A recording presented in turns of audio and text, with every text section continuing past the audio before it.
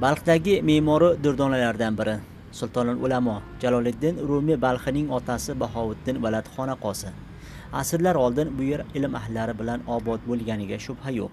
Ammo bugun kimsasiz vayrona. Mana ko'rib turibsiz hozirgi sharoitda tarixiy obidalarga hech qanday ko'zquloqlik va tavajjuh bo'lmagan. Balxda bu kabi vayronaga aylangan tarixiy obidalar oz emas. Turkiya ularni tiklashni zimmasiga olgan mehmonxona atrofida kutubxona masjid madrasa va farhangiy yig'inlar uchun tolar ham qurib berish va'dasi bilan 3 million dollar ajratgandi ammo noqarorliklar sabab 7 yil oldin boshlangan loyiha to'xtab qolgan. Obidohoy tarixiy va jahoy bostoni ki dorim bizning tarixiy obidalarimiz bir tedodi ta'did ostida va bir tedodi ham janglar sabab vayron bo'lish xavfi ostida. Va tarixiy obidalarimiz ham ba'zi shaxslar tomonidan noqonuniy ravishda qazilmoqda. balxning turli sohalaridagi tarixiy binolar jumladan balx davlatobod chimtol va chorbo'lak tumanlaridagi tarixiy obidalar tahdid ostida va biz bundan xafamiz. Balx itloot va farhang idorasiga ko'ra viloyatda 95 ta tarixiy bino ro'yxatga olingan. O'tgan 18 yil asnosida qayta tiklash ishlariga olmonlar ham bosh qo'shishgandi. 25 ta bino olmonlar yordami bilan qayta tiklangan. Boshqa 34 ta binoni ta'mirlash ishlari yana shu urushlar bois to'xtab qolgan. O'tmishda ayni shu tarixiy obidalar bois balx sayyohlarni o'ziga tortgan. Ammo bugun sayyohlar kelmay qo'yishgan. Ko'p muammolar keldi o'rtada.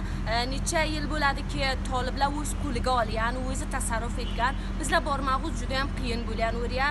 Tarixchilar balxdagi tarixiy merosni asrab qolish uchun davlat tavajjuh ko'rsatishi kerakligini aytishadi.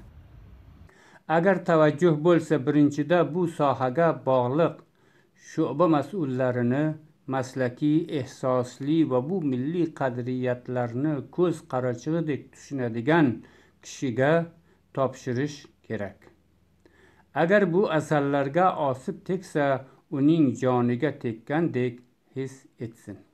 Ikkinchidan bu bostoniy obidalar va yer ostidagi asarlar haqida televizion radio va rasonalar va hatto majoziy vasilalar orqali haftada necha marotaba qisqa ammo jolib matlablarni takror nashr qilib sohibnazarlarning fikrini ham sharik qilish kerakdir. Tarix kitoblarida balx oryoyi madaniyat markazi o'laroq ham ta'riflangan. Ammo bugun tarixchilar bong urayotganlari kabi zaruriy choralarga qo'l urilmasa mintaqaning oltin merosi faqat kitoblar qatida qolishi mumkin xolos. Hayot shaybon bbc mazori sharif.